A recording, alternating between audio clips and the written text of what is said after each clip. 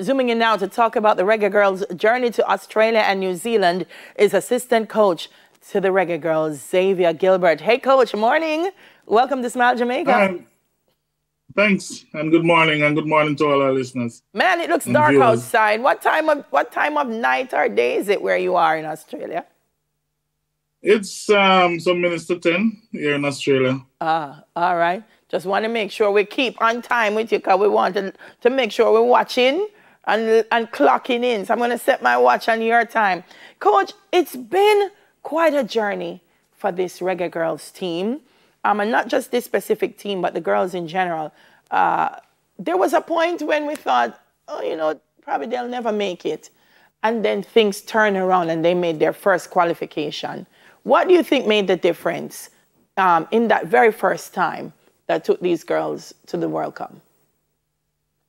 Um, the first time, I think um, playing some good games. I think qualifying for the Pan American Games and getting some good games against good opposition like um, Colombia, mm-hmm. Mexico, Costa Rica, mm-hmm. give give some good quality games and and to see where the team is at and how they can compete at that level. I think that that that gave us a little bit of edge, and hence we qualified for the first World Cup yeah, I, am glad you used the word quality because I think one of the things that's great about this team is the quality of players.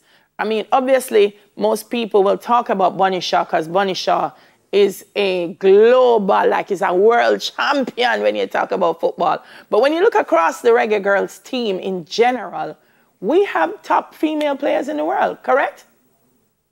Oh, sure. Um, we have quality players. Um, you mentioned Khadija Shaw is one of them. Yeah. Jody Brown, um, the likes of Drew Spence, who played at Chelsea for years, won many titles with Chelsea. Yeah. Um, Rebecca Spencer, who is at Tottenham.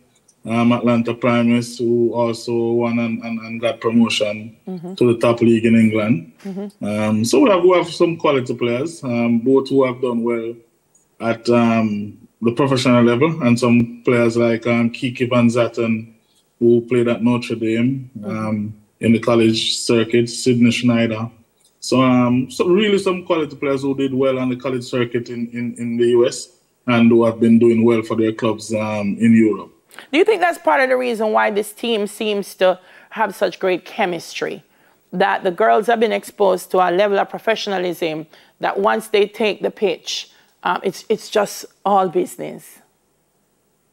That, of course, um, and the camaraderie, I think they gel very well. Mm-hmm. Um, they're used to playing in, in, in, similar competition, and we, we use we have the services of a lot of players who played in the qualifiers um, and and in, in, in, who have been in camps over the period of time. So they would have developed that that chemistry and the love and, and just rearing to go for Jamaica. Yeah, what's it been like on the ground since you've been there in terms of um, first of all the reception? To the reggae girls? Because I know people love Jamaica all over the world, you know. So, so what's the reception been like? I mean, everywhere we go, and I must give credit to, to FIFA and the organizers and the, the, the local organizing committee. It was a smooth transition in, in, in coming through the airport, um, um, getting to the to the hotel. Everything has been good. Um, lots of um, persons welcoming Jamaica a lot of them, um, where there's some Jamaicans living in Australia, you know, everywhere you go in the world, you'll find the Jamaicans. Yeah. And they have shown and, and pledged their support. They come to the hotel, um, offered to, to, to, to give their support in terms of anything that we need. Mm-hmm. Um, and they have been there supporting, supporting um, the ladies. Excellent. Support is going to be important because Jamaica is drawn in a very tough group. Coach, I not lie. I mean, we're playing what? France, Brazil. Um, how do you feel going up against um, those those top ranked teams?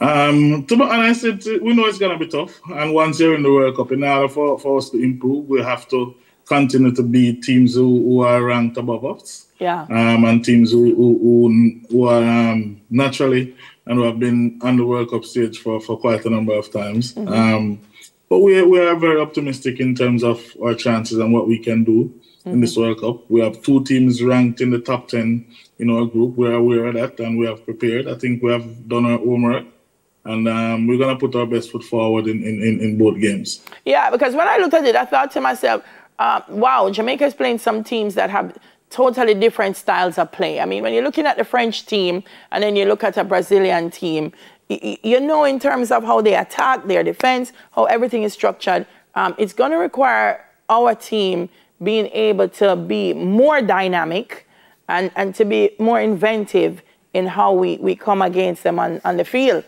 We, we have the depth, sir. We have the depth. Yes, we do. Um, and I mean, I'm sure some of the teams and these teams are planning for us as well. Yeah. Khadija, who have played in, in France for um, a couple of years and did well there, um, they are aware of that. And um, they, they know the likes and they know what she has been doing over the world. Jody Brown, the likes of the Drew Spence and Atlanta. Mm-hmm. So they are they are also doing their homework, and we want them to worry about us as well. So um, because they're not gonna take us light for sure. No. Um, they know and they've seen what we have, how we have grown. And I think the tournament that we came here in Australia in February in Sydney did us well, where we played um, Spain, Australia, and um, Czech Republic. Mm-hmm. Um, the results weren't weren't as best as we would have liked, mm-hmm. but our performances and the exposure playing those top nations and those top teams um, really did us well. Yeah, I mean, I'm saying Brazil and France, Panama is I don't think is a joke either. We just saw how well their team did in the Gold Cup. So I know it's not going to be easy for the reggae girls, but man, I have so much faith in them, coach. And not a lie, I think these girls are going to come out. And they've already done us proud, and, and I think they'll do themselves proud. Um, before you go off and make you heal up somebody, you know, coach, you can't join me from so far and don't, and don't heal up somebody. all right. Um, I just want to um, say hi to all the Jamaican fans and continue to support us. Yeah, yeah that's important. Thank you so much. Um, Assistant Coach Xavier Gilbert. Support is important for these girls. They're coming up against a tough team. They start on Thursday and then they play again on Sunday. But you'll hear more about that um, when Keon and, and Andrew join us later on. Stay with us. You'll be getting a preview of what to expect from TVJ's coverage of the 2023 FIFA Women's World Cup when we return. Soon come.